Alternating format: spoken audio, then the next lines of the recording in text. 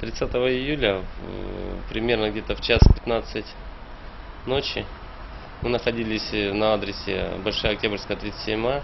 Э, Там э, как раз недалеко нах- находится несколько ночных кафе. И в это время мы заметили, что на улицу с криками из одного из этих кафе выбежали люди. Мы выдвинулись э, в их направлении посмотреть, что случилось. Э, Мы заметили э, человека с ножом в руках. Нож был в крови.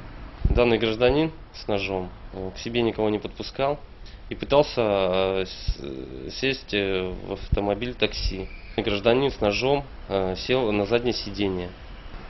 Подбежав к машине, вот, э, мы вытащили э, преступника из автомобиля, вот, уложив его на землю, зафиксировали руки за спиной, связав ремнем. И далее стали дожидаться э, следственной оперативной группы.